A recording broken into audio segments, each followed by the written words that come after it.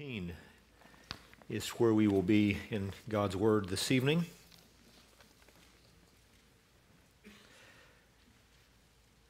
The first verse is where we begin reading. We will read down to the fifth verse, Luke chapter 13, verse 1. There were some present at that very time who told him about the Galileans whose blood Pilate had mingled with their sacrifices. And he answered them, Do you think that these Galileans were worse sinners than all the other Galileans because they suffered in this way? No, I tell you, but unless you repent, you will all likewise perish or those 18 on whom the tower in Siloam fell and killed them? Do you think that they were worse offenders than all the others who lived in Jerusalem? No, I tell you, but unless you repent, you will all likewise perish. Jesus is still in the midst of this sermon that we've been studying, still in the midst of this discourse when Luke informs us that there was another interaction that he had with the crowd. Some were present at that very time, verse 1 says, who announced something to Jesus. They told him something. Are you aware of the Galileans whose blood Pilate mingled with their sacrifices? They are telling Jesus about a particular atrocity, a particular tragedy and now we find that Jesus is willing to comment on that and apply a lesson that he wants to apply from that which they've announced to him. He lived in a world in which there was tragedy and atrocity. We live in a world in which there is tragedy and many atrocities. When man sinned, ushered into this world was the presence of death. God's judgment upon this world was a curse. And the result of that is we live in a world that's full of misery. Some of the misery is due to the fact that we do live in a world that physically is under a curse. There is disease, there is deformity, there is death. But because the death that man fell into is not just physical, because there's spiritual death, we also live in a world full of the misery that is directly explained by man's evil. We live in a world where there are murders, all sorts of injustice, all sorts of expressions of evil. And as humanity tries to make sense of this world, I mean, if you exclude God and you exclude the gospel and you exclude the truth of the scriptures, then how are you to make sense of it all? And as the world of humanity tries to make sense of the misery that we live in the midst of, some people view all of this as just, you know, a bunch of accidents. Some things happen that are just accidents. For example, a, a, tower falling on 18 people and killing them. Some people would just say, well, that's just an accident. And when it comes to those acts of evil men that everyone knows not to be accidental but purposeful, then we sit around and we discuss how to make sense of that. How could someone do such a thing? How do we explain this? Have you ever noticed when someone commits some atrocity in our world that the evening talk shows and the news programs, they, they all devote themselves to discussing how to make sense of it. And after all the conversation, no one has made sense of it. How could someone who is so intelligent do such a thing? He was making such good grades. How could he commit this particular act of evil. How could this happen? And then through it all, there's this sort of discussion. Wouldn't it be great if we had direct access to God so He could explain it all to us? Where is God in all of this? Is there a God? And if there is a God, where was He? You ever heard that kind of conversation? Where was He? Where was God? When this happened. And so men act as if God has nothing to say about human tragedy. We act as if God has nothing to say about these atrocities, as if He hasn't given us any revelation that is sufficient to address our questions. We act as if God is absent. If there is a God, we act as if He is absent. We act as if He is silent. We can ask all the questions we want to ask, but we think to ourselves, or men think to themselves, God never answers. Well, what we find in our verses here is that there was a day when men asked God, because who is Jesus? God in human flesh. We read of a day when men asked God face to face about a particular tragedy, an atrocity. And we find that God was not silent. We find that God offered commentary on it. God offered a perspective of it. God offered answers related to it. We, we ought to say to this world of ours, God is not silent when it comes to this sort of thing. But here's the question Are you willing to hear his answer? Jesus was not silent, but are we willing to hear his answer? Because his answer is somewhat shocking. In fact, I think if we gave the answer Today, in many cases, the answer that Jesus gave, we would certainly be branded insensitive. I mean, in view of what's just happened, how could you say what Jesus says on this occasion? It's not insensitive, though. It's just the opposite. What Jesus does here is divine love.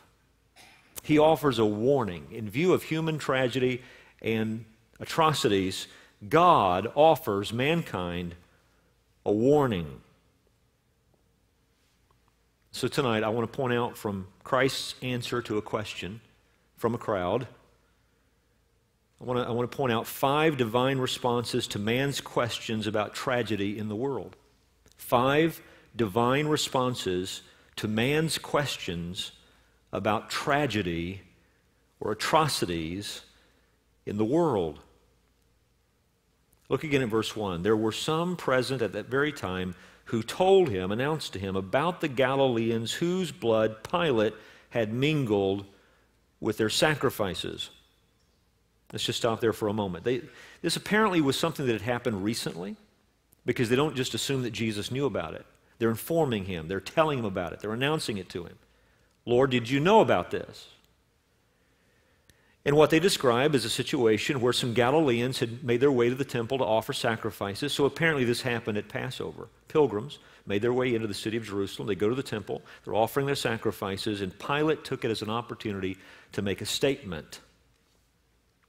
He may have viewed these people as being in association with some who were against the Roman government. We don't know all the background to this. In fact, this is not recorded anywhere else except right here in Scripture. Nothing in history, nothing from Josephus, nothing like that that tells us about this incident. So, this is what we have God's revelation, the history as it's recorded in God's inerrant word. This is what we have. What we do know is these people who had gone to offer sacrifices were executed, so that their blood was mingled with their sacrifices. We know that Pilate was a cruel man. We know that he was a wicked man. And so we get some insight into his character by this account. So they're announcing this. Why are they telling Jesus about this? Well, they want his response. What do you say about this, Jesus? What is your response to this? And the first thing I want to point out is he answered them, verse 2, and he answered them. So, first, I just want to simply establish the point that God is willing to respond to our questions about these sorts of things. As I said earlier, men sometimes act as if heaven is silent, as if God has left us hopeless without any answers. When faced with this world that we live in, a world that's full of misery and sin, well, Jesus was not silent. He didn't ignore the question. He could have. You have this crowd of people all trampling upon one another. I'm sure there were many things shouted out to him, asked of him. He could have just moved on, but he didn't do that. He addresses this question, he answers this question. He was willing to answer. God does have a word for human tragedy. God does have a word for these sorts of events. In fact, he's not only willing to answer this particular question, notice he is so willing to engage the issue, he raises another incident. He's the one who says in verse 4, well, let's begin with verse 3 to put it in context. No, I tell you, but unless you repent, you will all likewise perish.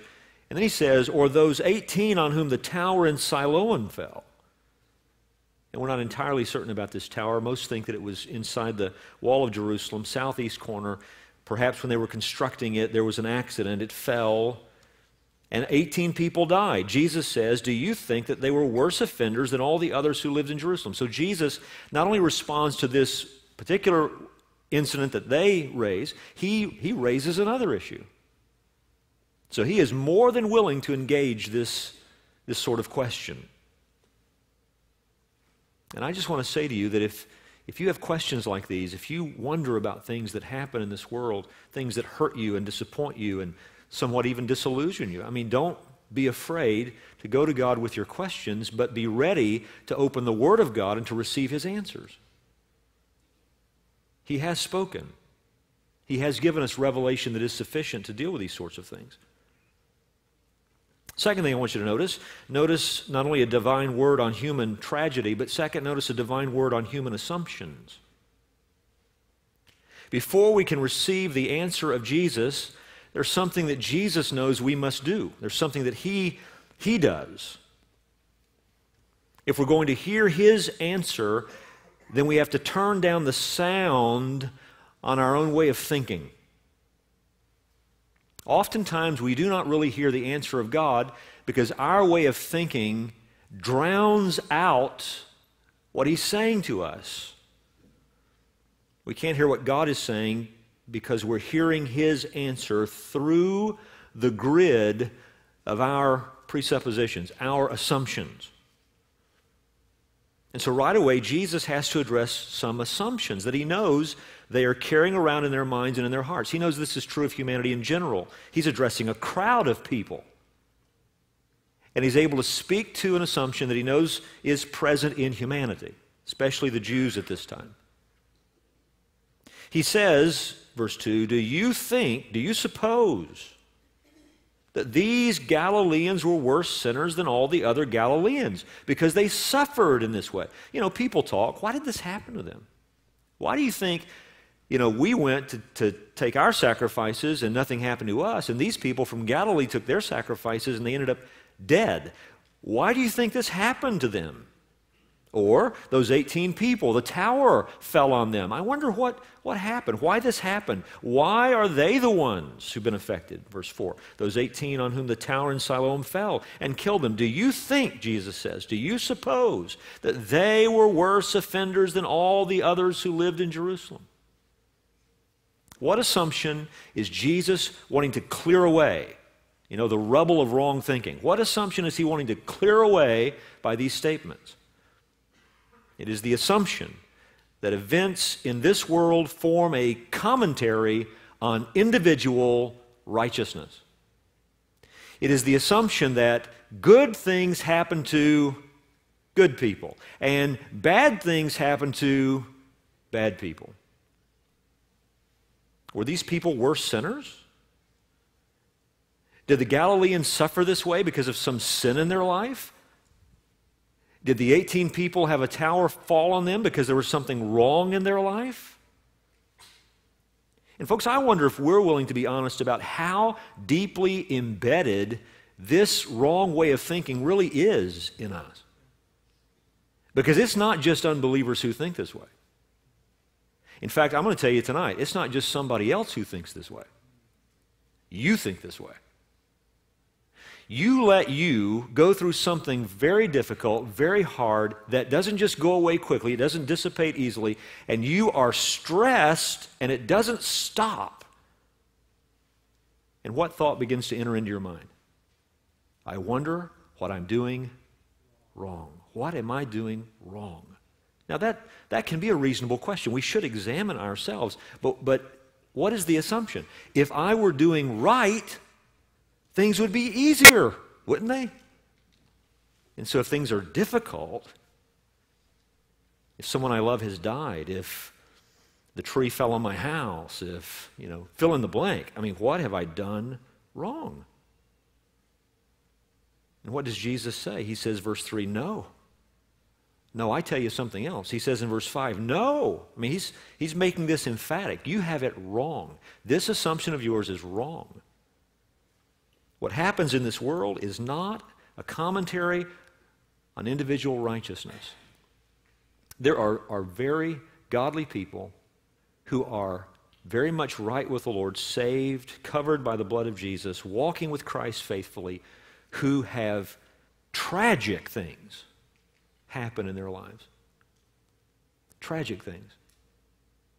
And Psalm 73 is just one example of a testimony to the fact that you have people who are very wicked who, from this temporal point of view, seem to be doing very well.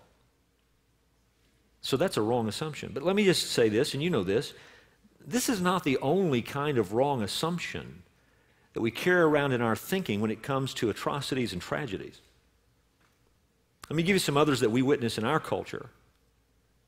One assumption that many people carry around in their mind is the assumption that most men are good, and so all worldly troubles are unjust. See, that's, that's where that question comes from. Where was God? Where was God when this happened? How could a loving God allow this to happen in the lives of these people? Now, what's at work? What's under the surface at work in that sort of attitude? These people had done nothing wrong. These are good people. These are fine people. These are people who deserve better than this. God, humanity deserves better than this. And so the assumption is that men are basically good, and therefore all worldly troubles are undeserved. We don't deserve trouble or the assumption that God is uninvolved in what is happening in the world. You know, don't blame God. This wasn't God's fault. God couldn't have done anything about that. I mean, that also is an attitude that some people carry around in their mind. I think I've told you this before, but years ago now, over 15 years ago, when I was serving in Elgin, in the middle of the morning, 2, 3 in the morning, I got a call and a dear friend and one of the members of our church, he was weeping on the other end of the phone. And he, and he told me, Brother Richard, Stewie, Stewie is dead. And this was his son. The, the man had been divorced and remarried. This was his son visiting his ex wife, his mother. She, he, was, he was with his mother in Arizona. And they were coming home from a trip and they were near the house. And someone ran a stop sign and plowed into the car, and his son was killed. And she, the mother, uh, had her pastor officiate at the funeral service, and this man asked me to go to Arizona and, uh, and officiate as well. And so we shared in the funeral service. And, the, and I followed her pastor, and the man got up and he said, and I won't, I won't get the words exactly right, it was a long time ago, but this was definitely the message God had nothing to do with this. God had nothing to do. God, in other words, God was nowhere around when this happened, so to speak. He, if he could have stopped it, he would have stopped it. If he could have done something, he would have done something. And so, in the minds of many people, when you talk about tragedies and atrocities, the idea is God is hands off. He's powerless. He's as helpless as we are.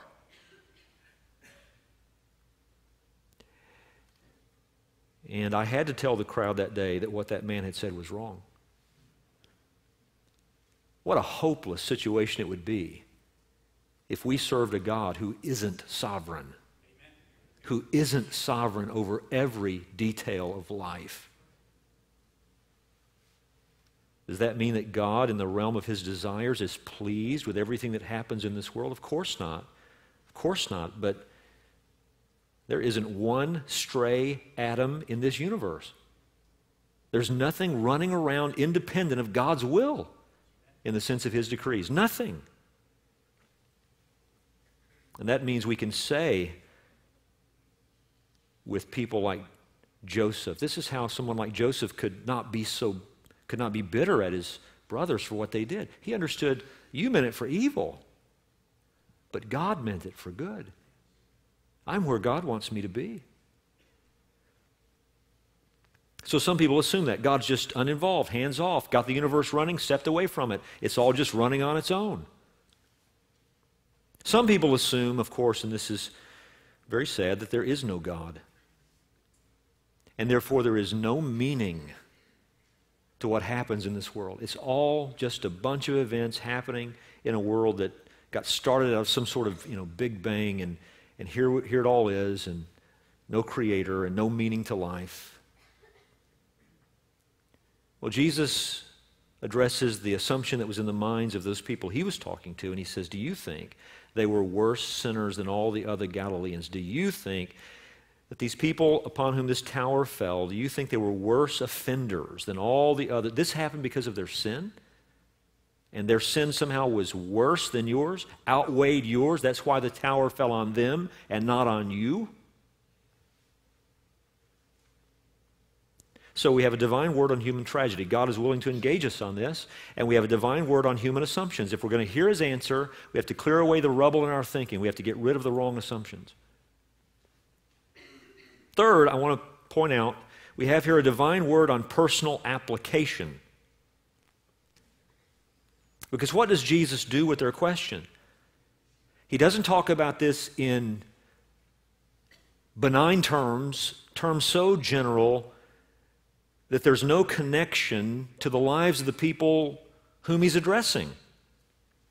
He says, Do you think that these Galileans were worse sinners than all the other Galileans because they suffered in this way? No. And then what does he say? I tell you, but unless you repent, you will all likewise perish. Verse 5 No, I tell you, but unless you repent, you will all likewise perish.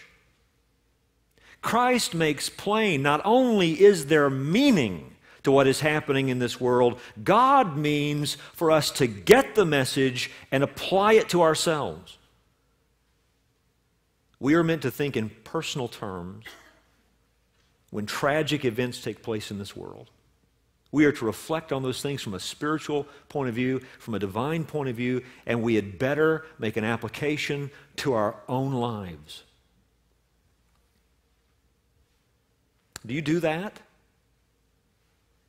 When you hear of awful things happening in our world, do you think about those things from the standpoint of Scripture? And do you make the application that you should make to your own life? God is not only concerned with what's happening in this world, He's concerned enough to give us the truth that impacts every single one of us. But we have to apply it. We have to apply it. Fourth, we have here a divine word on human guilt. Now, this is where the message becomes politically incorrect rapidly. Do you think that these Galileans were worse sinners than all the other Galileans? If you just stop there, you could be encouraged. This isn't about sin, personal sin, right? Oh, it's not because they were sinners. I mean, you could, you could come away with that impression if that's how you heard him. But that's not what he said.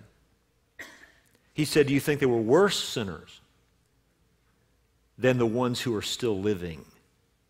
Verse 5. Do you think they were worse, or verse 4 rather, do you think they were worse offenders, worse offenders than all the others who lived in Jerusalem? What's his answer? No. No, I tell you, unless you repent, you will all perish in the same way like this. You know, there's, there's a, a similarity here. When, when these sudden, shocking, shaking tragedies that remind us all of our mortality happen in this world. It is a message to the whole human race that the whole human race is headed for disaster. That's the message. It's the message of universal guilt. It's the message of the fact that this whole world of humanity is sinful. And in fact, if you say, well, how sinful are we all? This sinful. That unless there is repentance, what happens to all of us? If there's no repentance, I'm going to talk about repentance in just a moment. If there's no repentance, we're born into the world, right? Take my own case, 1963, August 31st, there I am, born to my mom and dad. Now, I begin to live my life, and I live my life, maybe I live my life morally. Maybe I live my life religiously. Maybe I live my life in such a way there's no glaring blight, stain on my reputation. But if I live my life without repentance, without repentance, we're going to ask what that is in just a moment. If I live my life without repentance, what's my end? According to Jesus. I what? I perish. I perish. The word, the Greek word there has to do with destruction. I will be destroyed. And if you take this statement in the context of everything else Jesus says and everything the Bible says about this, what you will learn and understand, it's not a temporal destruction, it's an everlasting destruction. That is who we are. Our guilt before God is such that unless there is repentance, we all die. We all perish. We are all destroyed. We are all judged. Isn't that what Jesus has just talked about? in the previous section we just finished this morning? When he said to us, you know, you know how to read the signs of the heavens and the sky and all the rest, but you don't know what time you're living in right now. You don't understand that the Messiah is standing right in front of you. You need to recognize this, and why don't you, he says in verse 57, why don't you make a right judgment here? Why don't you settle accounts with the judge before you have to face him? There's a way for you to be forgiven. There's a way for your debts to be settled. You see, you have this debt before God. You stand guilty before God. And God is willing to settle the debts and to forgive you of your sins. But you have this opportunity that's right now, and you'd better do it before you face the judge. And here Jesus says, if you don't repent, here's where you're all headed, right before that judge. And the result of it is going to be you perish. What does that mean? It means the whole world stands guilty before God. The whole world. The whole world. Every one of you, if you have not repented, you are headed for destruction. And everyone you know and love, if they have not repented, they are headed for destruction. That's the message of Jesus in the face of the report of tragedy. This is, this is what God is doing graciously, lovingly with this world. He's shaking it from time to time and saying, Do you understand where you're headed? Jesus said in John 3:18, "Whoever believes in him is not condemned, but whoever does not believe is what? Condemned already." Because he has not believed in the name of the only Son of God. If you've not believed in Jesus, what is God's verdict concerning you? You are condemned. You are judged. John 3:36 Whoever believes in the Son has eternal life. Whoever does not obey the Son shall not see life, but the wrath of God remains on him. The wrath of God remains on him. What where's the wrath of God at right now as it relates to unbelieving human beings? It is on the human race. And all that awaits is the execution So Jesus says that apart from repentance, this is a divine word on human guilt in the face of tragedy. This is God's message to the world. If you don't repent, you will perish in much the same way. Sudden, unexpected shakes, not able to be reversed, finished, done.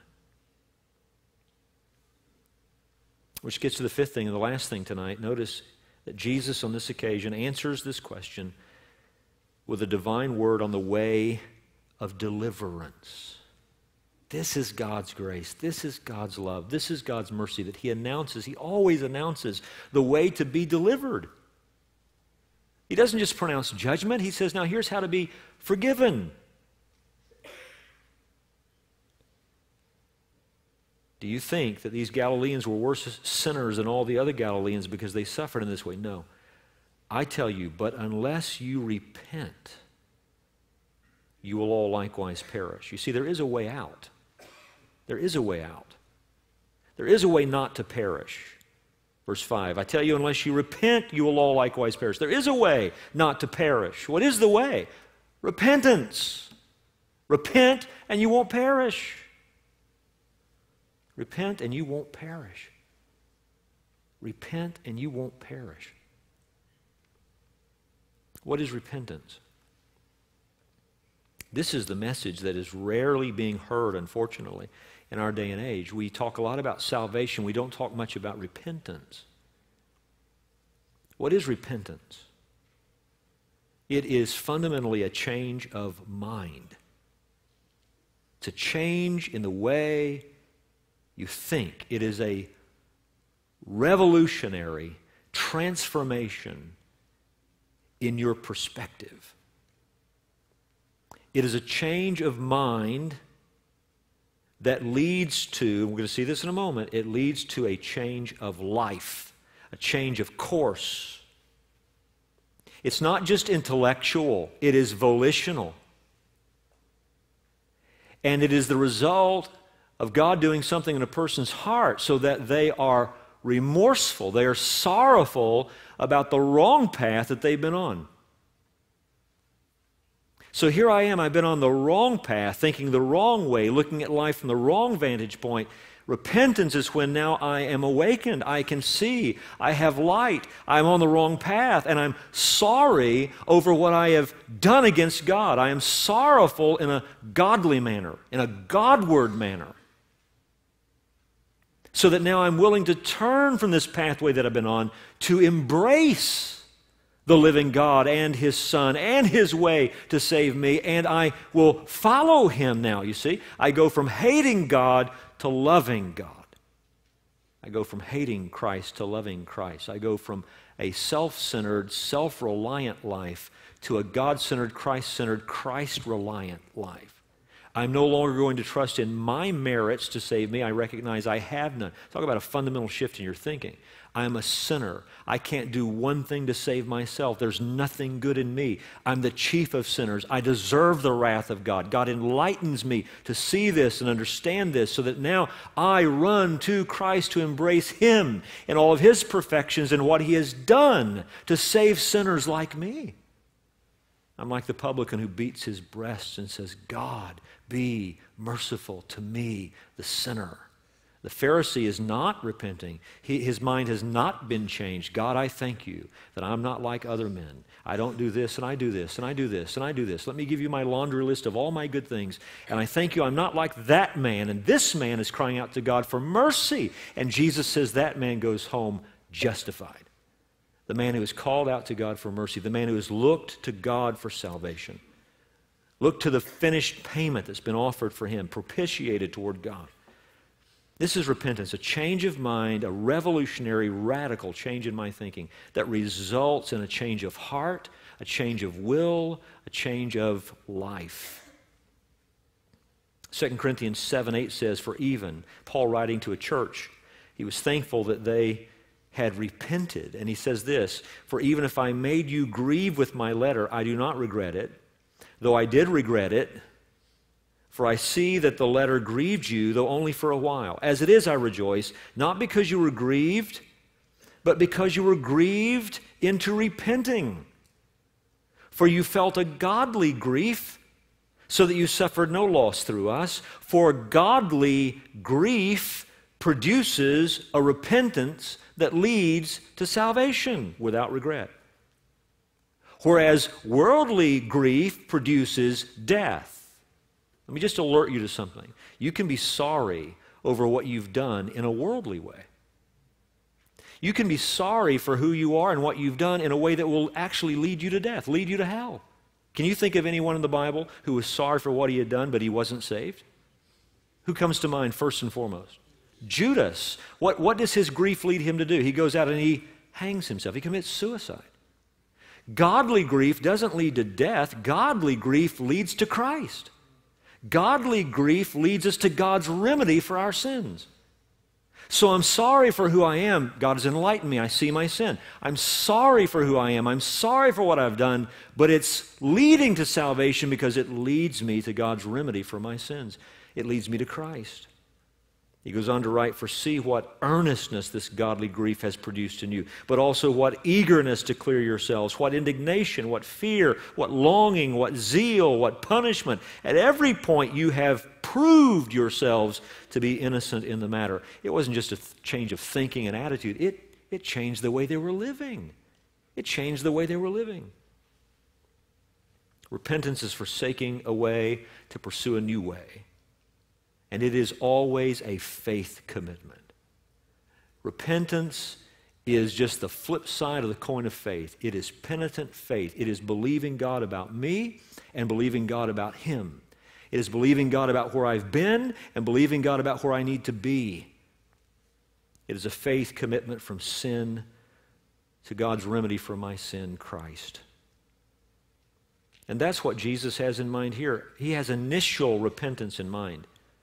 He has the repentance in mind that, that is found where there is justification, where there is initial and complete forgiveness of sins in, in faith in Christ. Because notice the, the opposite of this repentance will be perishing. Either I repent or I perish. And so the repentance is the repentance that's found in salvation, that looks to Jesus.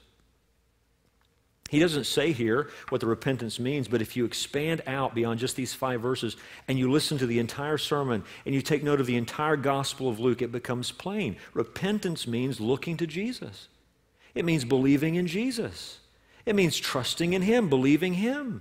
This is what He's just been exhorting them to do. He's just talked about this division that he brings on earth that will divide people even down into their homes based upon their faith in him. And so to repent is to turn to Christ. And folks, I want you to know, and you know this, I'm preaching to the large choir tonight, for the most part. But I want you to understand this is a miracle. This is nothing less than a supernatural work of grace in the heart. Do you know that repentance is a gift? Do you know that you can't even repent on your own? It is God who grants this sight that we're talking about tonight. It is God who shines his light into a heart to show a person who they really are and what their sins really are. It is God who makes a person sorry for who they are and sorry for what they've done in a Godward way. It is God who reveals his perfect and beautiful Son to a sinner so that now they desire the Son of God and would run to the Son of God. It is God who makes one dissatisfied with life as he has known it and to hunger for Jesus and for forgiveness with God with all of his heart. It is God who works this in a person's life. It's the result of new birth. Where there is new birth, there will be repentance. There will be repentance. It is the transformation of a person so that now the desire for God and for truth and for obedience is an internal motivation. Have you repented? Has the Lord saved you? Do you find now an internal motivation to serve the living God? Do you find that you love Christ? You desire Him, to please Him, to follow Him? Is this in your heart? Or do you just have a form of godliness? Where the pressure is always external. It's from someone else, or it's from a guilty conscience, instead of a positive desire that flows out of the new heart that God creates in the believing sinner. By the way, when this repentance happens, it's permanent. So, what do you mean? I mean, you go on in faith, and here's what that means you go on repenting. Anybody here still repenting? You go on repenting. This is sanctification. You go on repenting day by day, issue by issue, where there is sin, we choose Christ. We choose Christ. And where we don't choose Him, we're disciplined for it, and we come to see our wrongs, and the Lord enlightens us, and what do we do? We repent and we choose Christ. And so they come to God in human flesh. And they say, Is there any way to make sense of a tragedy like this? This sort of atrocity? He says, Yeah, there's a message in this. The stuff that shakes you, shocks you. Understand the sudden kind of disaster? That's where the whole world is headed. And unless you repent, that's what's going to happen to you. Final thought. How do you know if you've repented? Unless you repent, you perish. How do you know if you've repented? Isn't it interesting that Jesus gives a parable right at that moment? Next verse. And he told this parable A man had a fig tree planted in his vineyard, and he came seeking fruit on it, and found none. And he said to the vine dresser, Look, for three years now I've come seeking fruit on this fig tree, and I find none. Cut it down. Why should it use up the ground? And he answered him, Sir, let it alone this year also until I dig around it and put on manure. And this, this guy's put a lot of work into this, this tree. He doesn't want to see it cut down right now. It deserves to be cut down. Uh, the man who had a fig tree planted in his vineyard, he has every right to expect that it would bear fruit. It hasn't for three years. He's not wrong to say, we're going to cut it down and put something there that's going to make good use of the ground. Right? Verse 7 why should it use up the ground? But this vine dresser that's put in so much work, he asks for just a little more time. Sir, let it alone this year also until I dig around it and put on manure. Then, if it should bear fruit next year, well and good. But if not, you can cut it down. This parable really means to communicate one main truth. What is it? Where there is real repentance, there will be fruit. There will be fruit. When do the fruitless deserve to be cut down? Now. So, what does it mean when the fruitless are not already cut down? It means mercy. It means space. It means time. It means opportunity. Opportunity for what? For repentance. Because it's only through the saving work of God that you will ever bear fruit. How do you know if you've repented? Well, what does the fruit say? Is there fruit that says Christ is really in you? The Holy Spirit really dwells in you. The fruit of righteousness, obedience, love for God. Is it there? And if not, why are you not already cut down? Because you see, there's mercy and there's an opportunity to turn from your sins and embrace God's Son. Let's pray.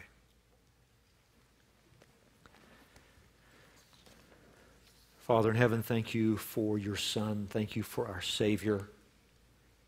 Thank you for the fact that you took on our questions about these things that are miserable and the result of the fall, these tragedies and atrocities, we, we seek to make sense of them, and Lord, you have given us an answer. You haven't answered perhaps every curiosity and everything, Lord, that we would like to know, but you've answered what we need to know. That we must look to you. That we must recognize our mortality and the reality of immortality, and that our need is for forgiveness. Our greatest need is for forgiveness. And so, grant in this room, I pray, the wisdom to settle accounts while there's still time. to turn from sin and to embrace your loving Son and to receive the full and free forgiveness that's found in him. Thank you for the mercy that makes this opportunity a reality, Lord. Thank you that you haven't already cut down the people in this room who have no fruit because they don't have Jesus. Thank you that they are here to hear this tonight. And may you, Lord, impress upon their mind and their heart this night that today is the day to be saved. Today is the day to call out to Christ and to receive him, the one who loved us and gave himself for us. Let that be their testimony tonight, that they could say, I have trusted in Christ and have discovered that he died for me. And I pray for this in Jesus' name. Amen. Let's stand together.